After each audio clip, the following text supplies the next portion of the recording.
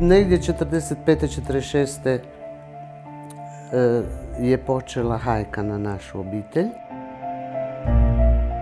Kad su došli partizani, to je bilo dakle 12. travnja 1945. Došli su po njega da preda dužnost.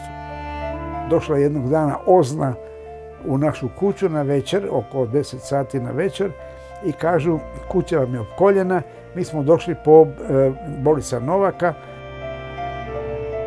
Pozdrav je bio, gdje si ti stari Ustaša i tvoji pet sinova Ustaša?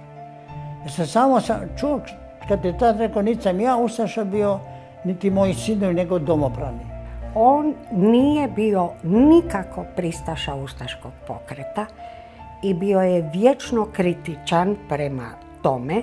Sjećam se samo da su da smo odjedanput u jednoj sobi nas troje malih ostali i bez majke, jer su zajedno sa njim uhapsili majku.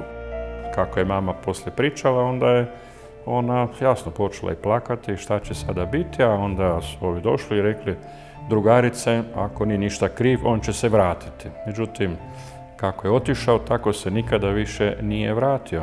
Rekao je mami, mi ćemo se brzo vratiti, ali ja moram ići sa svojim narodom.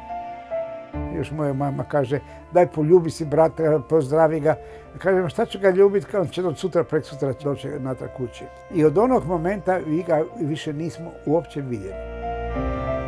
Danas je meni već potpuno jasno da poput stotina tisuća drugih ni ja neću nikad doznati gdje je grob moga oca.